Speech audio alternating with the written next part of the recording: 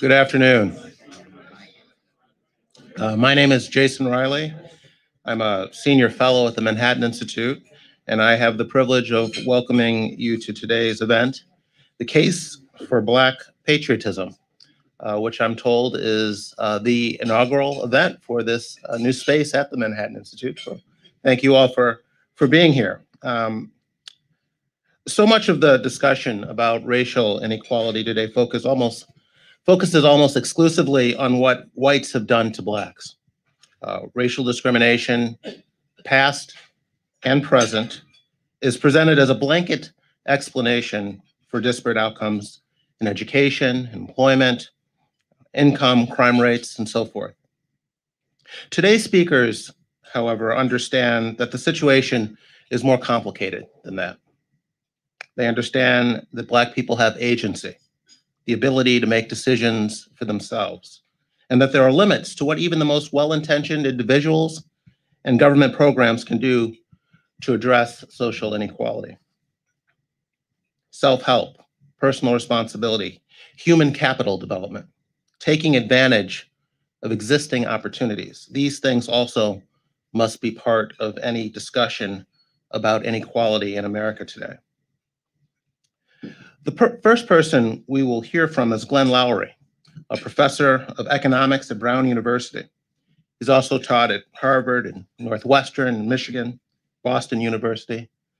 He's the author of numerous papers and several books about race, as well as a forthcoming memoir that many of us are eagerly anticipating, Glenn. But in my view, Professor Loury has really distinguished himself simply by being an honest intellectual, a straight shooter, someone willing to follow the facts where they lead and report the results, even if those results don't fit a politically correct narrative. Now, that, of course, shouldn't distinguish someone as an intellectual or a scholar, but sadly, today it does. Many of his colleagues in the academy far more concerned with uh, appeasing social media mobs than with reporting the truth. Professor Loury puts truth above popularity. I think we need 100 more just like him.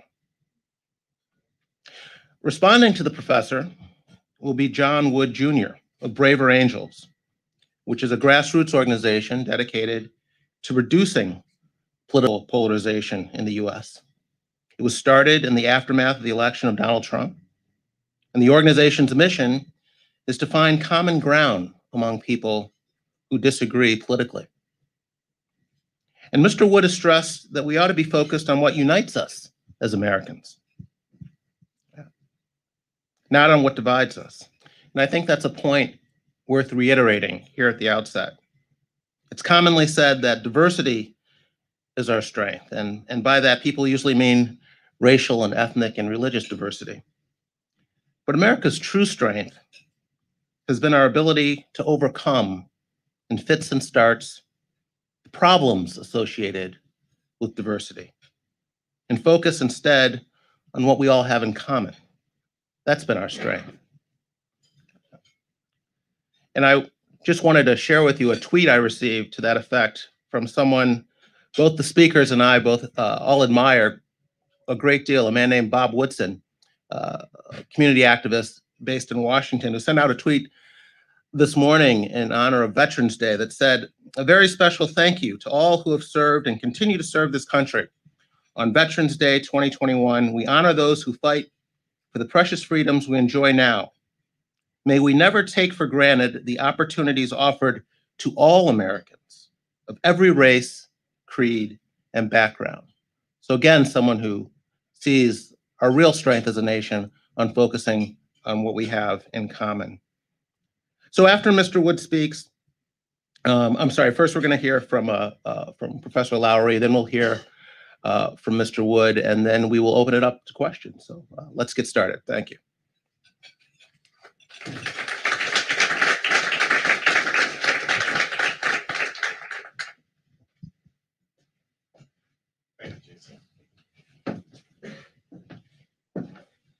Watch out for that first step. It's a doozy. Thanks, Jason. Thanks for coming out, everyone. Um, honored uh, to have this opportunity to address this important question. I'm a Black American intellectual in an age of persisting racial inequality in my country. I'm an Ivy League college professor and a descendant of slaves. I'm a beneficiary of the civil rights revolution, which made possible for me a life that my forebears could only have dreamed of. I'm a patriot who loves his country. I'm a man of the West. I'm an inheritor of its great traditions. I've said this many times. Tolstoy is mine. Dickens is mine. Newton and Maxwell and Einstein are mine. Franklin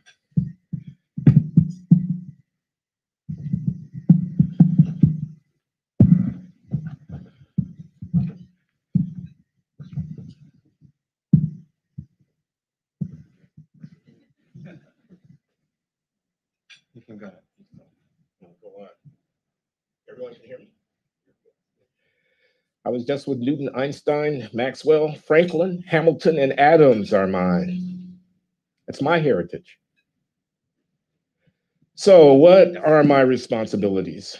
I feel compelled to represent the interest of my people, but that reference is not unambiguous. I'm an intellectual at a moment of racial reckoning. And I declare right here and right now for all the world to hear that no matter what the political turmoil that envelops us may be, my fundamental responsibility is to stay in touch with reality and to insist that others do as well. That's what I'm about here today. So brace yourselves.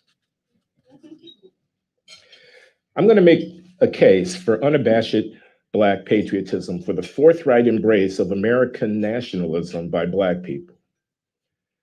The currently fashionable standoffishness, characteristic of much elite thinking concerning Blacks' relationship to the American project, exemplified, for instance, by the New York Times 1619 Project, serves the interest, rightly understood, of neither the country nor of Black Americans ourselves. Frankly, the America ain't so great and never was posture, popular on campuses and in liberal newsrooms, is a sophomoric indulgence for we Blacks in the 21st century. Our birthright citizenship in this great republic is an inheritance of immense value. To whom much is given, of him much shall be required. We Black Americans are a privileged and a blessed people. Our Americanness is much more important than is our Blackness. We must embrace this great inheritance and resist the temptation to see ourselves as a people apart we Americans of all stripes have a great deal in common, and those commonalities can and should be used to show how bridges, undergirded by patriotism, can be built between Black America and the nation as a whole. At bottom, we Americans all want the same things. We all want a legitimate shot at achieving the American dream. We all want each generation to do better than the one that came before. We all want to feel secure in our homes and when we are in public. We all want to live in clean and orderly communities with good services. We want the government to work for us and not the other way around. We want to be treated fairly by the broader society and by our institutions.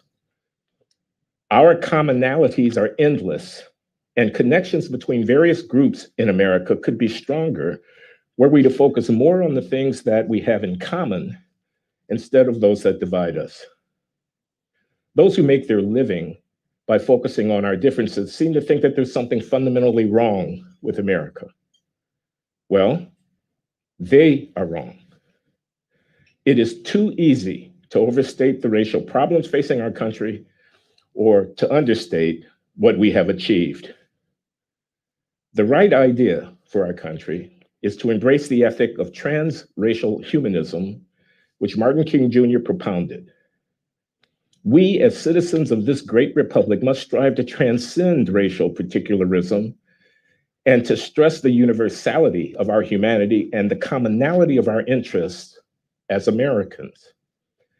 I realize that this flies in the face of the dominant anti racism sentiment in our time, but I must insist that the only way to effectively address a legacy of historical racism without running the risk of inducing a reactionary racial chauvinism on either side of the color line or both sides of the color line is to march on, if only fitfully and by degrees, toward the goal of creating a world where racial identities fade in significance, a world where no person's worth is seen to be contingent upon racial inheritance, a world where we learn how to unlearn race, as the writer Thomas Chatterton Williams has put it. Promoting anti whiteness, and let's be clear, Black Lives Matter can be found doing just that, will cause those advocates to reap what they sow in a backlash of pro whiteness. The folks who think that they can insist on spelling black with a capital B while keeping the word white in the lowercase are in for a very rude awakening. Better, by far, for Black people and for this country would be to emphasize our common American interest and to de emphasize our superficial racial differences. Now, racial inequality is real, of course, but inequality in America is not solely or even mainly a racial issue. There are plenty of poor and marginalized white people in this country, and they deserve our concern too. Contemporary American politics obsesses to an unhealthy extent about racial identity. Just how important is race? Is it an undeniable difference between people like gender, or is it a social construct? Consider, for instance, the growing number of interracial marriages and the ever increasing number of people who view themselves as multiracial, including the first Black president and the first Black vice president of this country. We talk incessantly about racial identity, but what about culture? What about values? Don't these things transcend race? How are we to explain the alienation that afflicts many prosperous Black Americans? These folks are being told by demagogues and pundits that white supremacy threatens them, that we've gone back to the 1960s or earlier. They are being led badly astray, I claim here. Black votes are being sought via gross exaggerations of legitimate concerns. We've now reached a place where millionaires like LeBron James can really think they're being hunted down like rabid dogs by rogue cops. Demonstrable facts seem insufficient to stop such false narratives. And yet, just look at what has happened here in the United States of America in the last 75 years. A huge Black middle class has developed. There are Black billionaires. The influence of Black people on American culture is stunning and it has global resonance. Black Americans are rich and powerful, relatively speaking. To put it in perspective, there are 200 million Nigerians, and the gross national product of Nigeria is about $1 trillion a year. Americans' GDP exceeds 20 trillion a year, and we 40 million or so African Americans have claimed to roughly 10% of it. We have access to 10 times the income of a typical Nigerian. What is more, the very fact that the cultural barons and elites of America the people who run the New York Times and the Washington Post, those who give out Pulitzer Prizes and National Book Awards, those who make grants at the MacArthur Foundation, those who run the human resource departments of corporate America, those who run the universities, those who make the movies, have bought into the woke racial sensibility hook, line, and sinker, gives to the lie to such pessimism as the claim that the American dream does not apply to Blacks. It most certainly and emphatically does. And it is coming to fruition daily. To dismiss this reality is to tell our children a lie about their country, a crippling lie, which, when taken as gospel, robs us Black people of agency and a sense of control over our lives a patronizing lie which betrays profound lack of faith in the capacities of us Black Americans to rise to the challenges to face up to the responsibilities and to bear the burdens of our freedom. Bearing the burdens of Black freedom in America means acknowledging the socially mediated behavioral issues that lie at the root of today's racial inequality problem. These behavioral issues are real and they must be faced squarely to grasp why racial disparities persist. These, I hasten to add, are American problems, not merely matters of communal concern to Black people. Nevertheless, downplaying, downplaying behavioral disparities by race is a bluff. Anti racism activists on the left of American politics claim that white supremacy, implicit bias, and old fashioned anti Black racism are sufficient to account for Black disadvantage. Those who make such arguments are, in effect, daring you to disagree with them. You must be a racist, they say, one who thinks something is intrinsically wrong with Black people if you don't attribute pathological behavior among some of us to systemic injustice. You must think Blacks are inferior, for how else could one explain the disparities? In calling their bluff, one risks being convicted of the offense of blaming the victim. But this is a debater's trick. It's a dare. At the end of the day, what are those folks saying who declare that something called mass incarceration is racism? That the high number of Blacks in jails is a self evident sign of racial antipathy.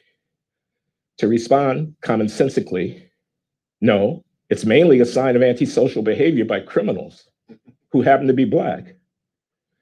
One risks being dismissed as a moral reprobate. This is so even if the speaker is Black. Just ask Justice Clarence Thomas. Nobody wants to be canceled, but we should all want to stay in touch with reality. Common sense, and more importantly, the evidence, suggests that those in prison are mainly people who have hurt somebody, who have stolen something, or have otherwise violated the basic norms of behavior which make civil society possible. Let's be clear those who are taking lives on the streets of St. Louis, Baltimore, Philadelphia, and Chicago are to a man behaving despicably. Moreover, those bearing the cost of such pathology are almost exclusively other Blacks. An ideology that ascribes this behavior to racism is simply not credible. We have so many get why have so many been getting away with espousing it for so long?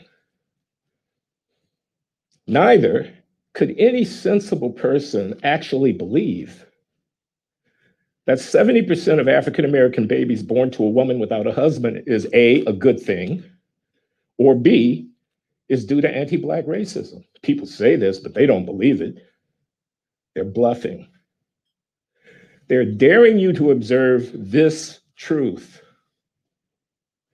that the 21st century failures of some African Americans to take full advantage of the opportunities created by the 20th century's revolution of civil rights are palpable and damning These failures are being denied at every turn, but this position is simply not tenable. The end of Jim Crow, the advent of the era of equal rights, these were transformative events in the history of our republic. And now, a half century down the line, we still have significant disparities, a shameful blight on our society to be sure, but the plain fact of the matter is that some considerable responsibility for this sorry state of affairs lies with Black people ourselves. Dare we Americans acknowledge this? Dare we Black Americans accept responsibility for it? Here's another unspeakable truth. We need to put police killings of Black Americans into perspective.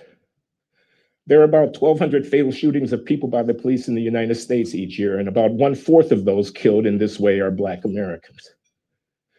We are 13% of the population, so that's an overrepresentation, though twice as many whites as blacks are shot dead by police in this country every year. You wouldn't know that from the activist rhetoric. Now, 1,200 may be too many. I'm prepared to entertain that idea. I'd be happy to discuss the training and recruitment of police, their rules of engagement with citizens, and the accountability that they should face in the event they overstep their authority. These are legitimate questions.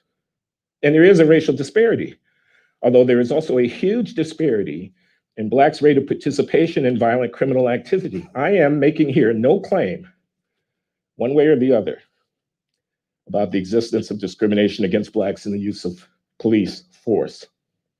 But in terms of police killings, we're talking about 300 Black victims per year, roughly.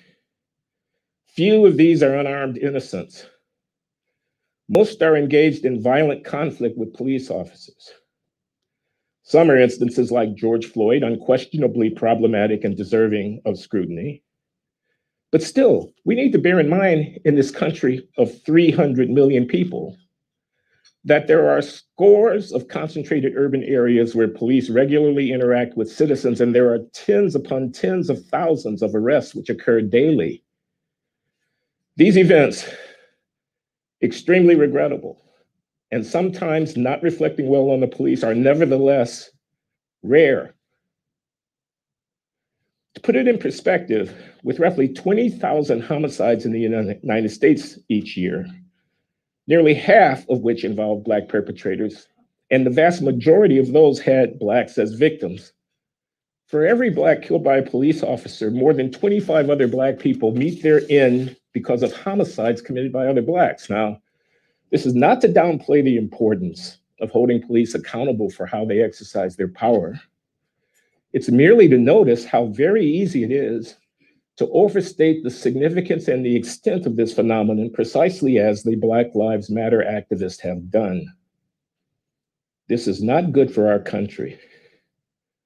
There is a fundamental point here. There is a terrible threat to social cohesion here in the United States of America implicit in seeing police killings primarily through a racial lens. Such events are regrettable regardless of the race of the people involved. Invoking race gratuitously, emphasizing that an officer happens to be white and a victim happens to be black, is to tacitly presume that the reason said officer acted as he did was because the dead or injured victim was black. Yet this is a presumption seldom tested against the facts. We don't necessarily know this. Moreover, once we go down this road and get into the habit of racializing such events, we may not be able to contain that racialization merely to instances where white cops kill black kids. Soon enough, we may find ourselves in a world where instances of black thugs killing white citizens come to be seen through a racial lens as well. This is a world no thoughtful person should welcome, since there are a great many such instances. Framing them as racial events gratuitously is counterproductive in ways that are too obvious for me to detail. When criminals harm people, they should be dealt with accordingly. They do not represent others of their race when they act badly white victims of crimes committed by Blacks must not come to see themselves mainly in racial terms. When someone steals their automobile, beats them, takes their wallet, breaks into their home, or abuses them. People are playing with fire by gratuitously bringing a racial sensibility to police citizens interactions. They are playing a race card from the bottom of the deck. Well, they may find soon enough that theirs is not the last play in that game. The narrative that we Black Americans settle upon is crucial to the future of this country. Is this a good country, one affording boundless opportunities to all who are fortunate enough to enjoy the privileges and to bear the responsibilities of citizenship? That's one narrative. Or is this a venal, immoral, and rapacious bandit society of plundering racists founded in genocide and slavery and propelled by capitalist greed and unrepentant anti Black antipathy? That's another narrative. The weight of the evidence overwhelmingly favors the former.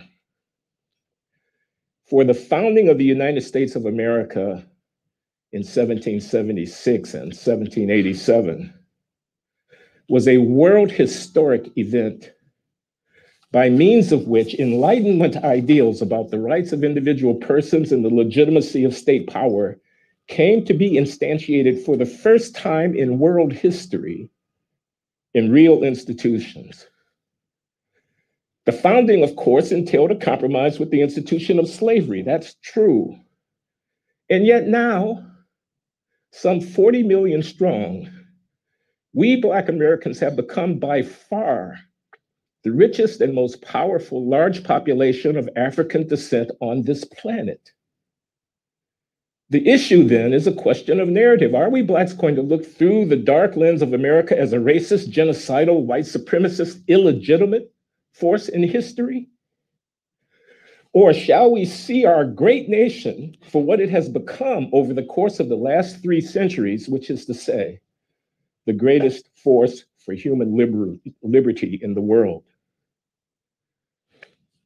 The narrative we Black Americans choose will influence our assessment of certain key periods in history. There is, of course, the Civil War, which left 600,000 dead in a country of 30 million. The consequences of that war, together with the 13th, 14th, and 15th Amendment enacted just afterwards, did something remarkable and unprecedented in world history. It made the enslaved Africans and their descendants into citizens. And in the fullness of time, we have become equal citizens. Should that last have taken another hundred years? No. Should my ancestors have been enslaved in the first place? No. But we must not forget that slavery had been commonplace in human experience, going back to antiquity. Emancipation, the freeing of slaves en masse after a movement for abolition, that was new. That's a Western phenomenon. It's the fruit of enlightenment, and it happened right here in these United States of America with the liberation of 4 million people. Such an achievement surely would not have been possible without the philosophical insights and the moral commitment and the institutional designing genius of the founders of this country. Ideas that were cultivated in the 17th and 18th century in the West. Ideas about the essential dignity of human persons and about what can legitimate a government's exercise of power over its people. Something new was created in America at the end of the 18th century Slavery was a Holocaust out of which emerged something that advanced the morality and the dignity of humankind, namely emancipation. The abolition of slavery and the incorporation of African descended people into the body politic of the United States of America. These were monumental, unprecedented achievements for human liberty.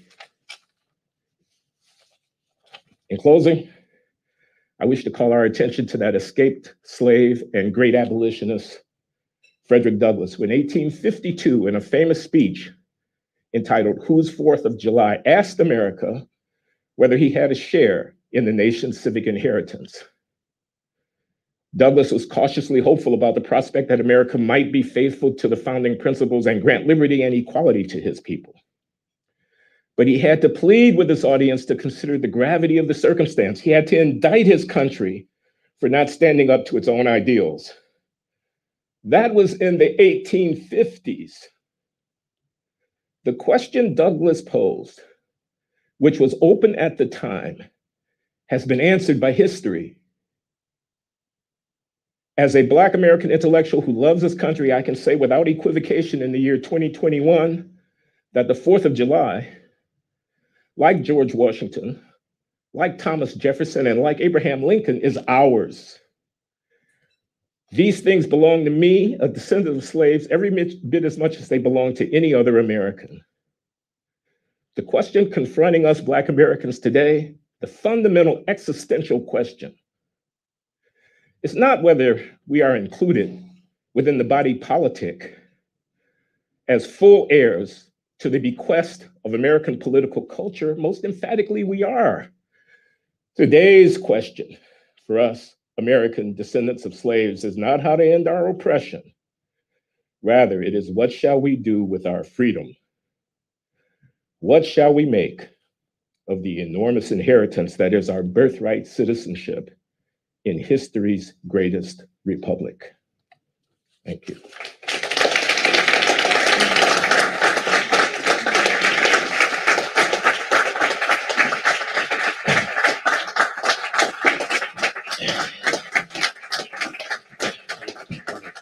Yeah, thank you very much. I appreciate it.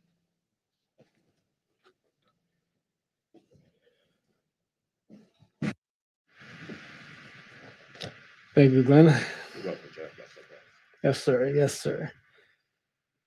Ladies and gentlemen, I am um, pleased and, and honored um, to, to be here with you today. I do have to point out, of course, that I have the uh, I, I have the the more difficult task here today. Uh, Glenn Loury gets to go first, and I get to go after Glenn Loury. So so you know, I beseech you for your for your uh, for your for your mercy here for me and my role. And um, as I take it, you know, part of my role here today is to play something of something of devil's advocate here in responding to Glenn's remarks. It, it won't surprise anybody to know that I feel a great deal of resonance with the the major themes that Professor Loury has articulated. Nevertheless, I am here in part to communicate what I feel to be a reality that is necessary for everybody in this room to understand, both as an academic and an intellectual matter, but even more importantly, as a, as a function of the fact that it is necessary for us in this day and time, if we are to progress in the context of a racial conversation in America, to reckon with the fact that for all of the excesses of the modern social justice movement, the anti racist mainstream, the sort of, you know, the illiberal, let's say, extremities of the, the gatekeepers for much of our racial conversation, that there is a human experience and an American experience, baked particularly within the context of African American life and history, which legitimates so much of the outrage we feel and are on the sort of receiving end of oftentimes um, as folks who are perhaps critical of the social justice movement, the modern mainstream, I should say, of the social justice movement. That without being able to reckon with the source of this, this anger and the legitimacy of the experience produces this, that produces it, leaves us ill-equipped to engage in the racial conversation constructively and in a way that could guide us towards unity on the things we might ultimately agree upon uh, in the way that we must do if America is to move forward. And so, where do I begin in seeking to lay out that perspective? Professor Loury is entirely right that the United States of America, the story of the United States of America is one of progress, the progress of an imperfect people living up to more perfect ideals, failingly, haltingly. The Black experience itself bears witness to this truth. The fact that Frederick Douglass, even in his own time, the most important Black man, in, in the most famous African American in the world, but the fact that he was able to rise from slavery and give voice to a vision of Black liberation that ultimately, uh, a mere century and a half later, would result in the election of America's first Black president shows us that there is an arc to progress in the United States of America that we must all be grateful for, and that the inheritance of the American project uh, accrues to, to black and brown every bit as much as it is the property of those who are those who are white and of European descent in this country. But if you were tracing the outlines of that history, and if you were to ask yourself, where does the anger, where does the frustration, where does the outrage that we feel coming from so many people in this country and so many African Americans and others in this country, where does it come from in a day where we have an African American president, where you have Black millionaires and Black billionaires, where you have an expanded Black middle class, where people of color are invited and welcomed into university settings, celebrated in our popular culture around the world, where Black people and white people go to school together, live in neighborhoods together. Where does this anger and outrage come from? It may be useful for us to look at it in a couple of different dimensions and remember the fact that the human creature is not a being that in and of himself merely reacts to the distribution of statistical figures on a page indicating the fact that progress has been made in material fashion, but that we are each of us products of the stories that we have received and the experiences that we've actually lived through in the context of our individual and our familial and our communal relationships in day to day life. What do I mean by that? Let's take a long view. Historically speaking, the 1619 project, of course, resonated with many people because it planted the beginning of the American experiment with the beginning of slavery. Hundreds of years, a couple centuries worth of bondage, followed by liberation that opened the African American experience into a phase in which, after a brief decade of Reconstruction, where there was some political empowerment of the Black community, African Americans were subjected to the ravages of Ku Klux Klan terrorism, the ostracization of the labor movement. Um, over the course of decades of living in a status quo of oppression in the rural South and finding no warm welcome in the urban centers of the North and ultimately the West, we move forward into the mid 20th century, you have the genuine triumphs of the civil rights movement, the inspiring leadership of Dr. Martin Luther King Jr. But in that period of time, a decapitation of African American leadership in the form of the assassinations of key figures was tremendously demoralizing to a Black community in which the material gains of the civil rights movement, the Voting Rights Act, the Civil Rights Act, did not necessarily accrue in any tangible or direct way to the majority of African Americans who lived outside of the American South and who were generally concentrated in urban centers, where the question of being able to integrate a lunch counter was not as significant as the day to day poverty and the day to day oppression that took place in non Jim Crow parts of America.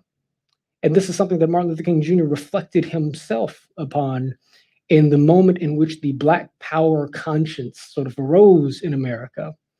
Uh, because part of the frustration of the militant left at that time had to do with the fact that the civil rights movement, as far as it could see, was not bearing fruits for the majority of African Americans, but moved past the death of Martin Luther King Jr. And you have a period of time where moving into the 1970s, with the advent of the Great Society, the welfare state, as you might refer to it, you had a circumstance in which a subsistence sort of income was provided to poor people across the country and certainly the African American community. But this happened at a moment in time where African Americans were displaced from their from their economic station in the agricultural and the service sectors of American society. I come from Los Angeles. I live in South Central LA. This was a period of time in which the importation, the, the importation of foreign labor displaced these, these workers at the same time that the outsourcing of manufacturing opportunities to Asia and elsewhere displaced African Americans from the manufacturing sector. Genuine pathways towards social mobility and economic progress began to dissolve at a moment in time wherein also the advent of heroin and then crack cocaine came in and began to decimate black communities both from usage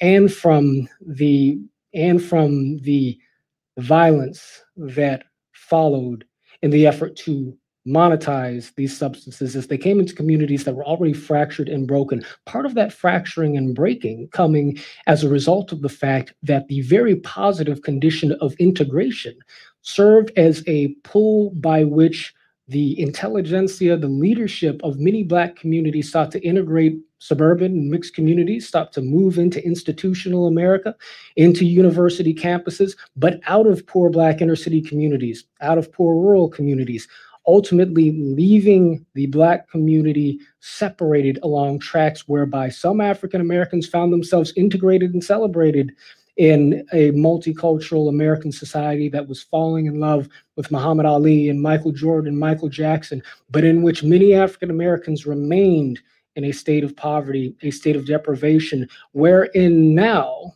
the phenomenon of what we call mass incarceration begins to pick up momentum. The defining dynamics of the relationships between African American communities and law enforcement begins to crystallize. In a context in which it's worth pointing out, law enforcement departments in those eras were frequently themselves corrupted by the money that was passing through the black market, drug market, in places from Harlem to New York City to Los Angeles and Chicago.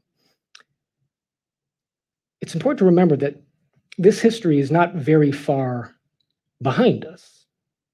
Now, none of this negates the reality of the fact that ultimately it is our capacity to build up our own ability to govern ourselves, to succeed in the marketplace of ideas, the economy, through the cultivation of skills, through the building of social capital.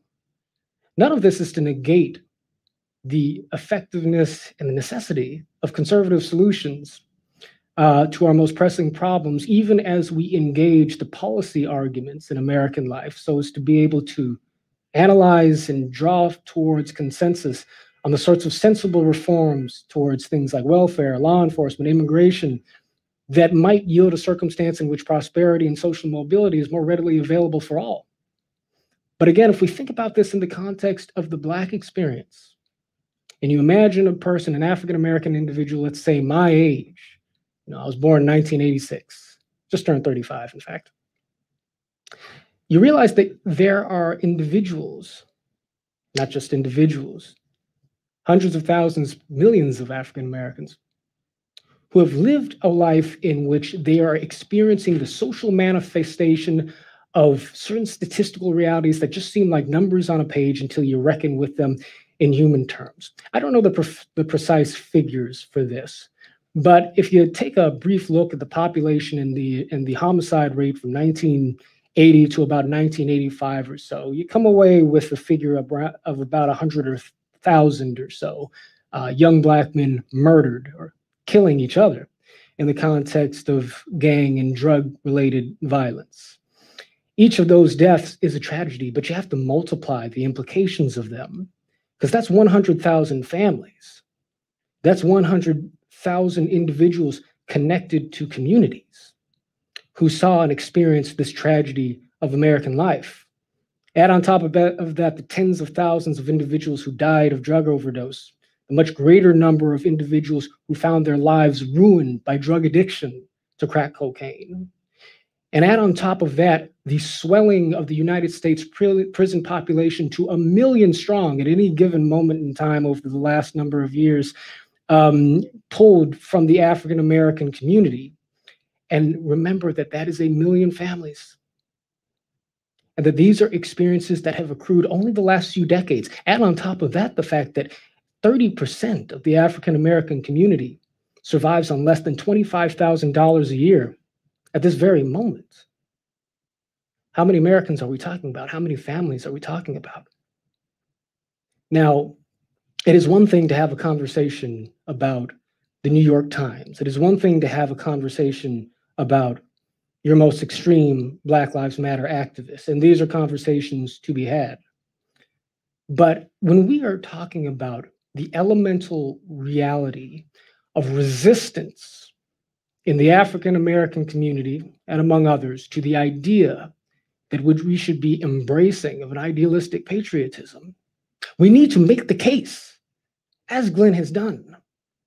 But we need to make the case while reckoning, forgive the term, with the lived experience of people whose context for looking at America is born largely or maybe even wholly from this history of deprivation that goes from slavery all the way to the present moment for far too many. At what point in the story that I just told of the Black experience in America does the American dream ever show up for many of these African Americans? Now, I am African American. You know, my wife is Black. And as a way of illustrating the point, I will make the point that I am a person who grew up in Martin Luther King Jr.'s promised land. I grew up in Dr. King's beloved community, as did many Black people. The cultural shifts that were accomplished and the nonviolent movement, the civil rights movement, changed American culture for the better. It made my life possible. My father is white from the South, happens to be a Republican and conservative. My mother is black, liberal Democrat from inner city Los Angeles. My Southern grandparents were not immediately embracing of the idea of an interracial marriage, but by the time I came along, they couldn't have loved me or my brother more. All right. There's change that takes place in the Wood family. There's change that takes place in America. The American people and the American project can and has grown closer to what it was always meant to be. But my wife's experience in American life is far different. She has a very different attitude with respect to the, the easy sort of glorification of patriotism that I have. And it's crystallized in our experience with the Los Angeles riots. The LA riots are a faint memory in my mind. I remember at the age of five years old, 1992, my father being worried about my mother who had gone to work uh, during the midst of the violence, worried she would never come home. But ultimately, she came home and life went on as normal, coming close to some violence and middle class Culver City, California, but never being too deep into it. My wife, at the age of four, lived 15 minutes and 15 miles away from me in Watts, California, and laid on the floor to avoid gunfire as sirens blared, as sirens blared, and as fires burned for days, looking at the coverage on the news as her as her community went up um, in fire and death and living a life in the projects, living a life in inner city Los Angeles uh, over the course of the late 80s, early to mid 90s, my wife has seen more death and murder than some people have seen serving in Iraq and Afghanistan. That is her American experience. That is where it began. And so, in making the case for Black patriotism, we must stress the overcoming that is exemplified in the Black American experience. And we must also do so while earnestly recognizing and acknowledging the pain of that experience, so that in making the case to Black Americans that we need to embrace this country's legacy and founding ideals as our own inheritance, we can make this case also demonstrating the fact that we are not unmindful, and Glenn Loury is not unmindful, but to do so in a way that makes the case that we are firmly and deeply aware, not as an abstract matter, but as a real felt matter of the experience that many people are trailing behind them as they express their skepticism or even cynicism with respect to the American project, and still point to the fact that progress is real, that the American journey towards the beloved community, towards a more perfect union, is a provably successful one over the long arc of history, and yet that we not cannot remain, that we cannot be complacent, we cannot be satisfied with how far we have come. Because if we're to truly do honor to this inheritance, we must recognize that there's much further to go. Thank you very much. I appreciate your attention. Thank you.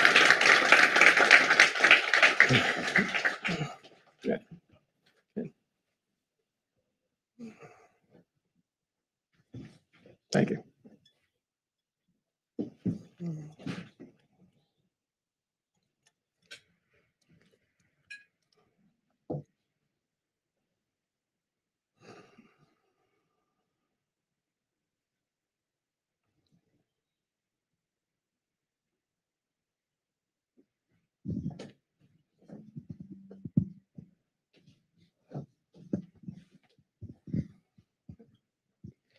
So I'm, I'm sure both of you are aware of recent polls taken of in the black community, the white community about how many unarmed black kids have been gunned down by uh, the police. And the the average answer, I, I'm just pulling these numbers uh, out, of thin air, but I think it's it, it- among blacks, they say thousands.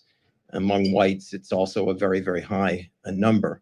The question is, do you think that some of the anger that the black community is feeling comes from the misinformation being fed to them by mass media and in the academic community about things like uh, uh, black deaths and the fact that blacks youth can't walk out of their house without being in mortal terror. Yes. I don't think there's any question about that.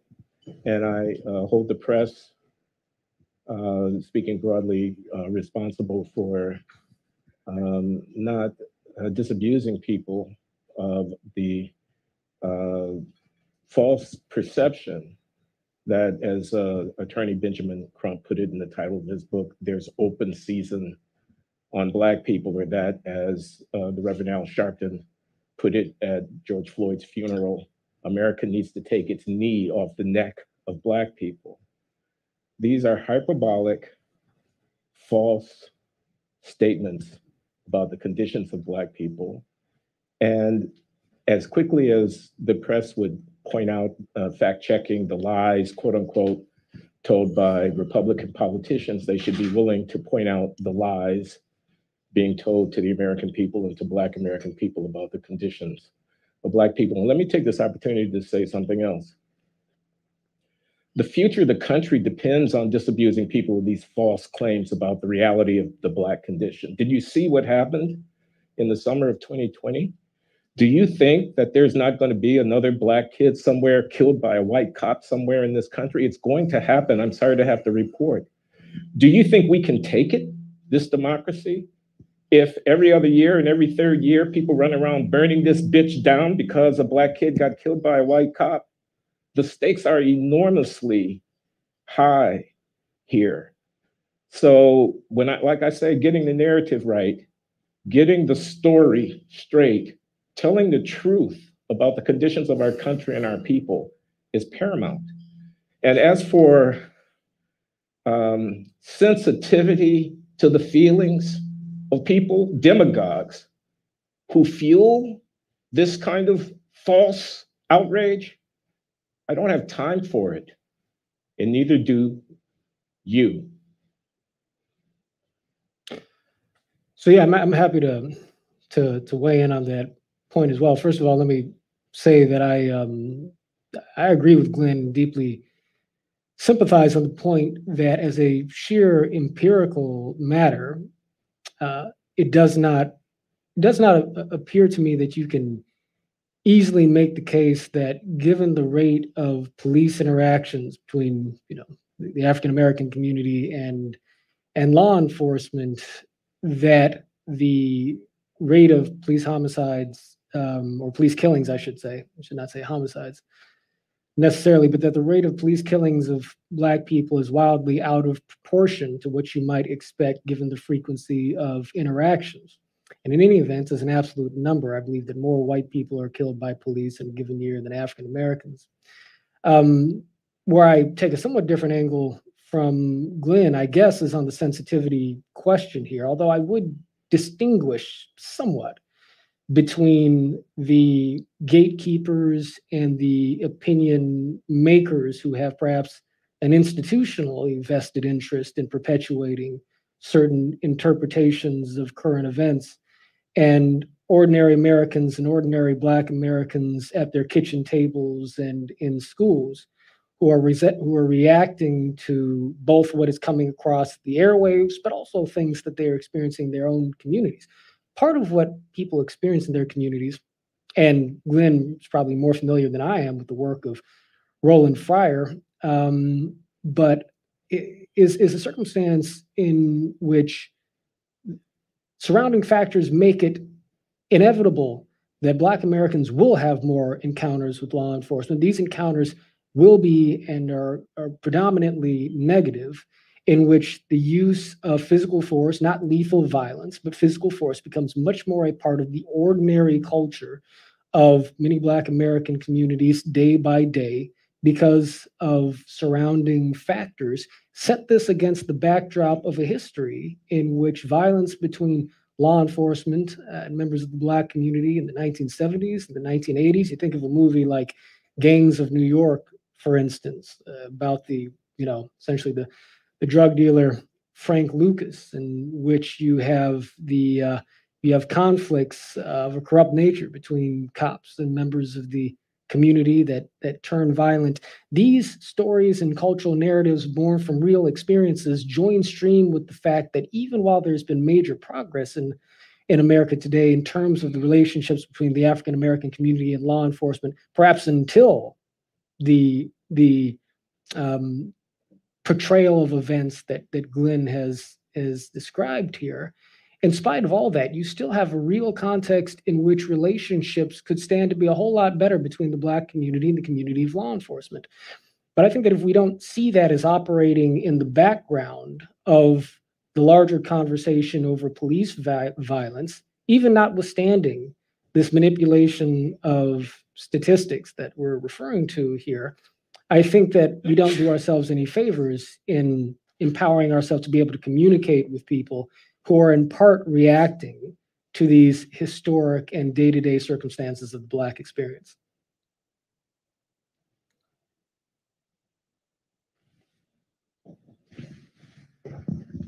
Uh, Excuse me.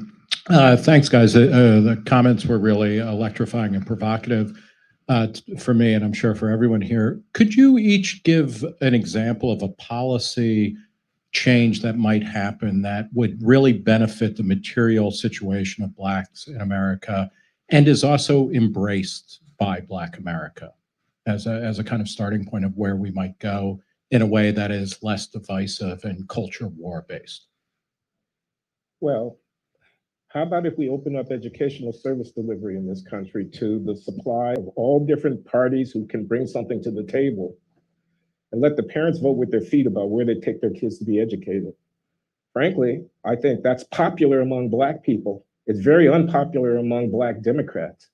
The, the reason is called the National Education Association. Not any different than any other labor union in advocating the interest of its employees. But as a matter of fact, they work for us. We don't work for them. Let my people go.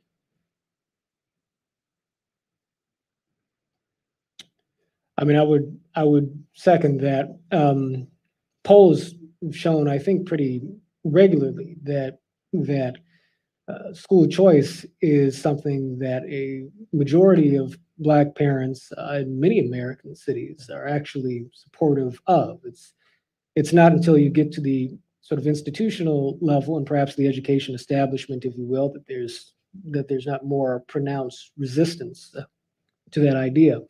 Um, I am uh, interested um, also in exploring certain approaches to restorative justice.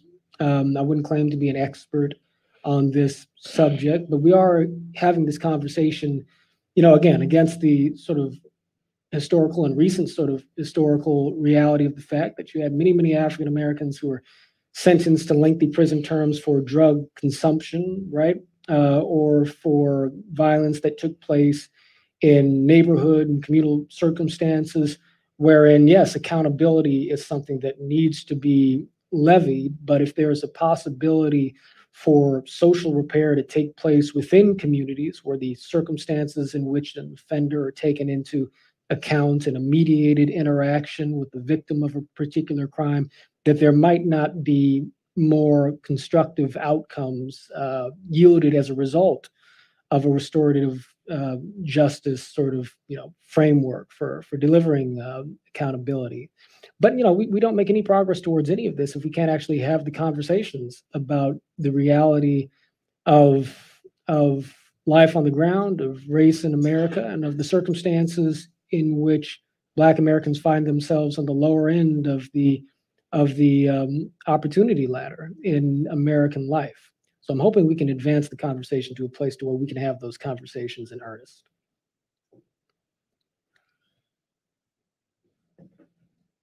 Well, uh, unfortunately, we are, we are out of time. Um, Fortunately, we're out of time. and We're going to have to cut it off there, but um, I, I do want to thank uh, all of you for being here today and, and, and thank both uh, Glenn Loury and John Wood for uh, two deeply informed perspectives. And I do hope, as John was just saying, we can continue to have conversations like this and, and sort of bring more more light than heat to these discussions as, as both of these gentlemen have done here this afternoon. So thank you all for coming and enjoy the rest of your day.